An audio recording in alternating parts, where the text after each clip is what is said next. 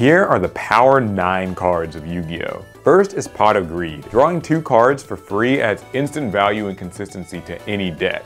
Graceful Charity draws three and discards two, so it's sometimes even better than that. Painful Choice lets you pick any five cards in your deck, put one in your hand, and set up your graveyard all in one go. Soul Charge is basically a monster reborn for as many monsters as you want, and Dimension Fusion does the same thing with your banished monsters. Delinquent Duo rips two cards out of your opponent's hand, it's like the opposite of Pot of Greed, and all the cards so far get completely shut down by Imperial Order, which negates all spells. There's Maxx C, which lets you draw anytime your opponent special summons a monster. Or you could just stop all that entirely with Royal Oppression. So what do you think are the most powerful cards in Yu-Gi-Oh?